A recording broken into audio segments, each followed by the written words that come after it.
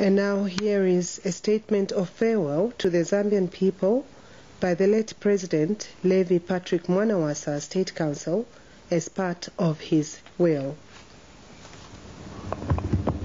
Can start, uh, clause 28. I now want to address the nation, and I desire that uh, this part of my will shall be broadcast on radio and television. I want to say farewell to all the people of Zambia, and I'm grateful to all of you for giving me the opportunity during part of my life to serve you as the president. It was a privilege which I cherished up to my death. I did all my best to improve the standard of living of you, my people. I strove to attend to the production of sufficient food for domestic consumption and for export, and worked hard to encourage investment, both local and foreign, so as to create jobs and so as to enhance the growth of our economy. I believed that uh, national development could only be sustained if good governance, respect for the rule of law, and democracy were encouraged and taken for granted. To spare these virtues, the fight against corruption had to be waged relentlessly and without treating anybody as a sacred cow.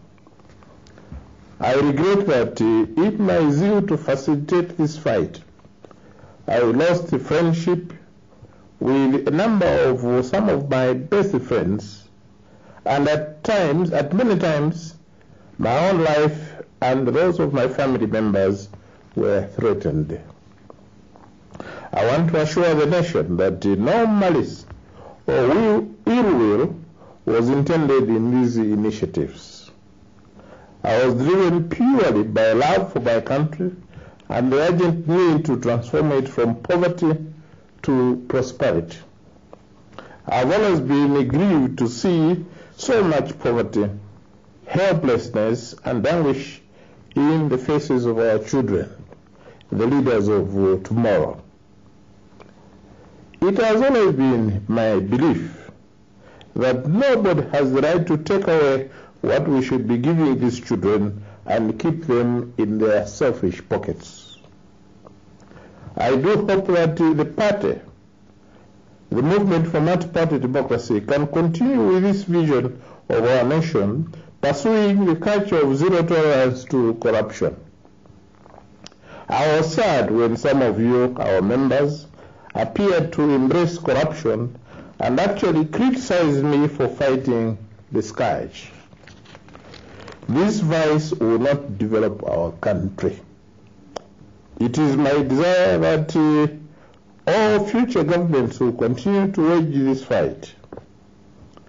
If uh, in my endeavors to provide only the best for my country, I offended some of my compatriots, all I can ask is that uh, they should find a place in their hearts to forgive me as no deliberate intention to harm their feelings without just cause was intended.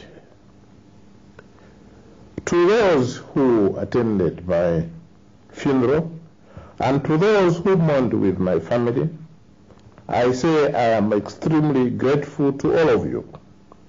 I am certain that I speak on behalf of my family that their burden has thereby been enlightened. Uh, thereby been lightened. Witness whereof I, the said Levy Patrick Mwanawasa, have uh, hereunto set my hand this 23rd day of March 2005 and I've signed this will um, as my last will in the presence of my two chief personal secretaries, uh, Brandina Nyendwa and Josephine Shakabinga, both of them present at the same time, who at my request, in my presence and in the presence of each of them, have subscribed their names as witnesses to the will, uh, the original will, uh, which is kept by uh, my bank. Thank you.